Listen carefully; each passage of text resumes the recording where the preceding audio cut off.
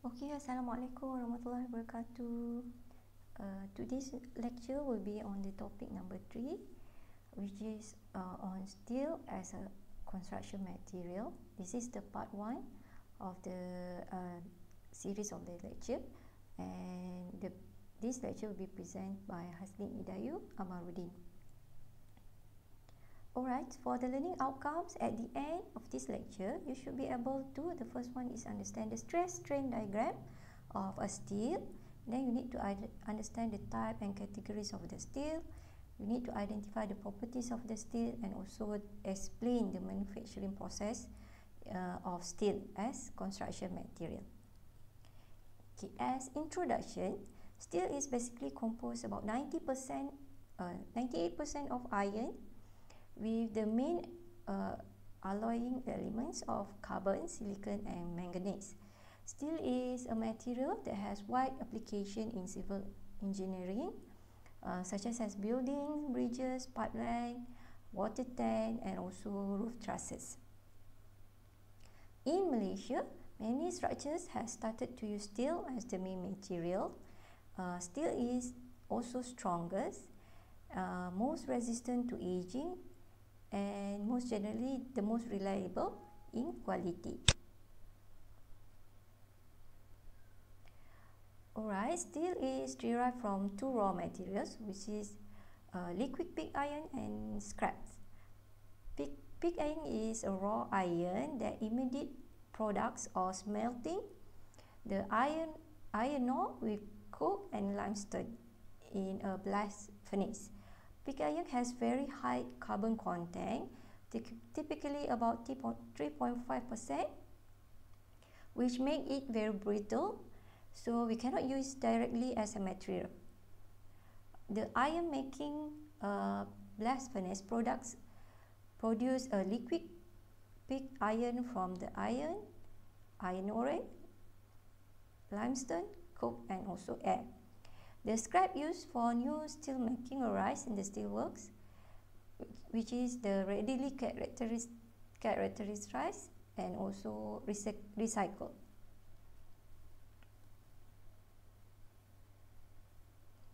Uh, steel is actually the industrialized material which is uh, subject to tight control of its content and the detail of its forming and fabrication.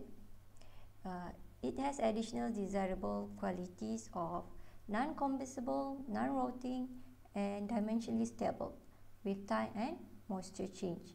The usage of steel is basically for the strength of the steel and to resist impact, corrosion, and steel to take the and hold a sharp edge and also cut other steel. Okay, so what are the main properties of the steel? Strong under compression and tension as compared to concrete and timber. Therefore, steel is actually a ductile material which is can resist excessive load due to wind, earthquake, vibration and impact. Uh, okay, so that is the main properties that we are looking on for the steel. So fa the factor uh, for selecting steel in construction, the first one is you need to check the strength level requirement then you need uh, to make sure the properties, the mechanical properties uh, required, uh, the process of the steel, steel making uh, due to heat treatment or other plant is available or not, and the code of practice. The reference codes, we have uh, Eurocode 3 BS, in, which is specified on the uses of steelwork in building. In construction, uh, steel can be used as structure steel, which is a plate, bar, pipe, and structure sheet. And coil form steel, such as stud, truss, roofing, cladding, and also for fastening products, for example, bolt, nut. Uh, and for concrete, we are using steel as reinforcement steel, rebar in concrete, and other form. Uh, so this is example of steel structure. Here we have uh, core form cladding. Core form cladding is basically uh, a form of to support the roof roof tile and here the column and the beam is using hot roll steel.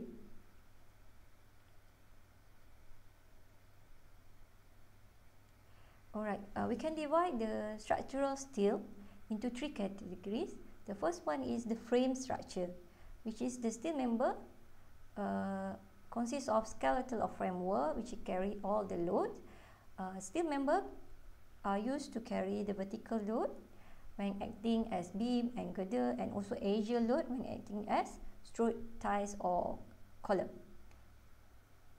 The steel frame are made of load bearing element for example, uh, we have in frame structure, we have beam, we have girder, we have uh, trusses, we have column, and basically for beam and girder is to support uh, a dome. Dome is some kind of a half, upper half of a spira uh, to support roof tile. So, the other type of steel is a shell type structure which is carry axial stress load. For example, we use this one as to store water, to store liquid or storage beam. So the third uh, category is suspension type of structure which is uh, basically supporting axial tension and normally we are using uh, cable or wire and it is for suspension bridge. Okay, so next we move on into type of steel. Uh, there are several type of steel. The first one is carbon, carbon steel. Carbon steel can be divided into four, which is low carbon, mild carbon, medium carbon, and also high carbon steel. So it is actually depends on the level of carbon in the steel uh, component for example, for low carbon, we have only 0.15% of carbon, which is uh, the, the steel is actually very soft and only so suitable for wire and thin sheet. So the other type is maybe mild carbon and also medium carbon. So normally for for engineering purposes, we are using medium carbon steel. Uh, okay, so this is example of carbon steel. Next is alloy steel. Alloy steel contains either silica, silicon or manganese or any other elements uh, with deliberate alloying addition. So we need to add some alloy into the carbon steel to enhance the properties of the steel. Uh, the, the third type of steel is weathering steel which is contained of about 0.2% of copper which is have better resistance against corrosion as compared to uh, carbon steel. And the fourth type is the stainless steel. For stainless steel, it contains chromium. Uh, and stainless steel can be classified into martensitic, ferritic, or austenitic, uh, which is level depends on the level of chromium inside the uh, steel component. Alright, so steel behavior. Some of the properties of the steel make it versatile among construction material, which is we have steel is high in stiffness, high tensile strength, and we can have the ability to form into various shape and also weldable uh, for ease of construction. Even small differences in the composition of the steel can have a dramatic effect on the properties of the steel itself. For steel, we are going to use a tensile test to test the strength of the steel. Uh, based on the tensile test, what we got is the stress strain diagram of the steel. So basically, the steel have uh, three level, which is the first one is uh, the pace of when elastic pace, uh, which is when your when you apply load, the stress will be increased and also the strain. So here is the linear range and A value is the proportional limit at linear range and B value at point B is the uh, yield point or elastic point of the steel and when it start to change. Okay, so and at C and D is at uh, the upper yield point and lower yield point of the steel. After that, the steel is become plastic. The second uh, stage of the steel is plastic. Even though uh, without increasing of the load, but the strain will be still increases until it reach a rupture point where the steel is uh, break or loss its strength. Okay, it means it uh, at point is actually the ultimate strength of the steel in plastic condition. Okay, so this is uh, the description of the stress strain. So just now I've mentioned. Okay, in terms of the manufacturing process, uh, steel can be the first one is primary steel making, which is we uh, use refers to refining process to produce liquid steel or melt.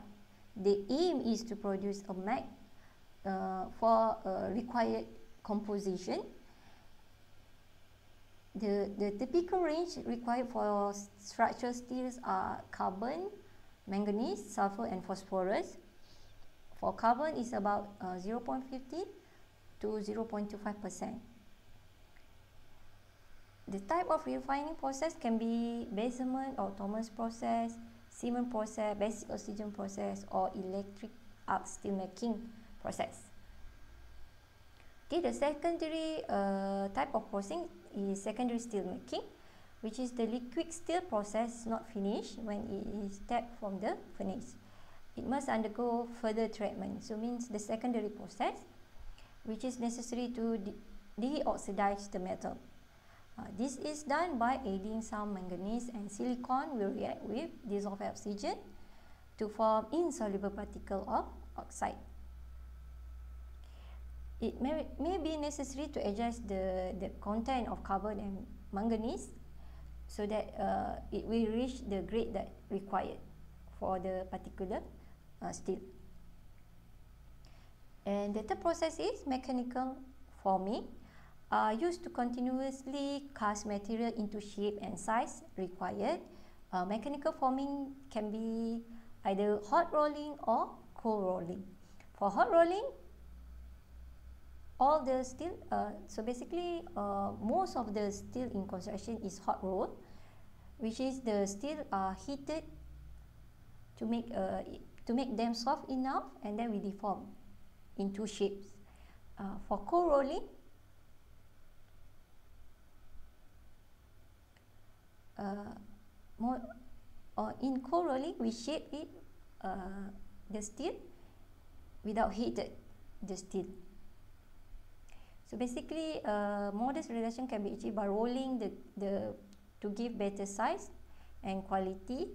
And basically, cold rolling is mainly for lightweight section. Okay, so these are all the process of making steel.